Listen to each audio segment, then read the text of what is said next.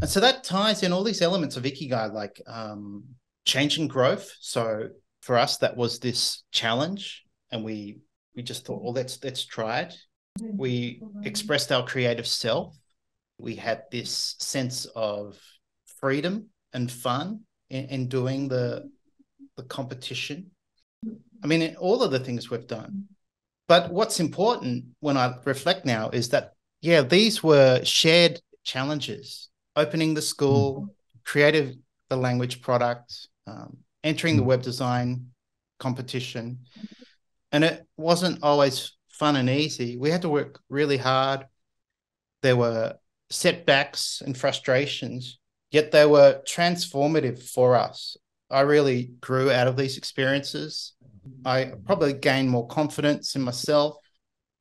Mm. So, what about you? How did these challenges or experiences change you? What did you learn from them?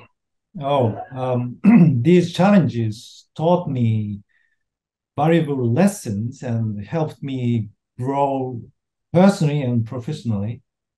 I guess we we gained a deeper understanding of our strengths and weaknesses, and we honed our problem solving skills.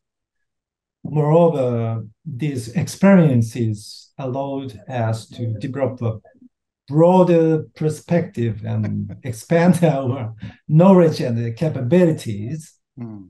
We learn to adapt to new situations and think creatively to overcome challenges. We discover the uh, significance of collaboration and an effective communication in achieving our goals. Mm.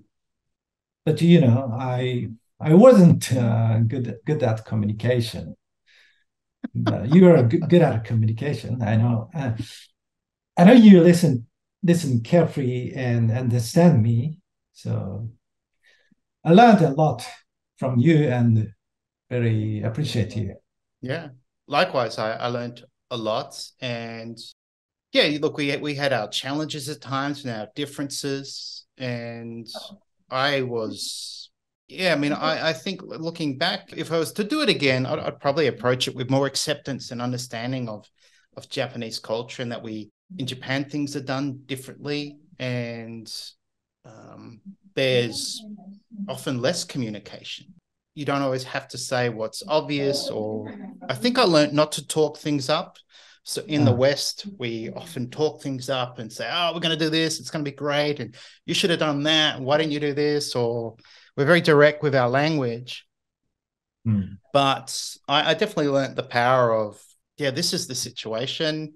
Let's accept or move from here and focus on what we want to achieve rather than worried about who's done what or um, if there's been a problem, just move past it.